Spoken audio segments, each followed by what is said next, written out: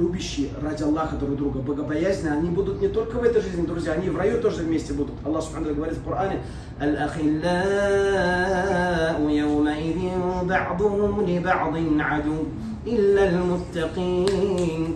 Друзья друг другу будут врагами.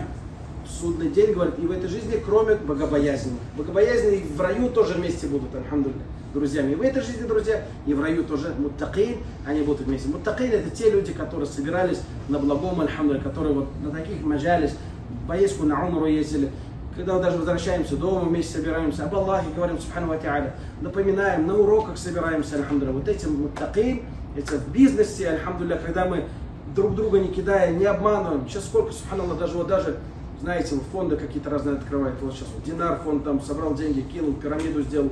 Этот фонд такой, это братья говорят, мы не знаем, кому доверять деньги. Вот братья попадают и так далее. Богобоязненные люди, Аллах, так говорят, аятами, далилями и так далее. От них хочется пример брать, и они тебя кидают, субханаллах. Кому доверять, если не братьям? Кому доверять, если кому можно доверить, субханаллах, если вот такой вот аманят невозможно доверить.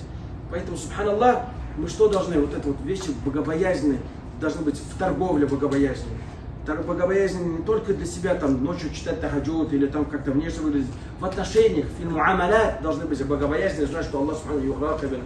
То, что ответственность во всем, ответственность во всем у нас. Мы отвечаем за свои семьи, за своих детей.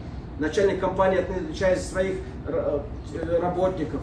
Эти, эти, эти. То есть все, кому доверили, то есть мы должны полностью ответственность богобоязненно пройти, иншаллах, тогда будет фаин.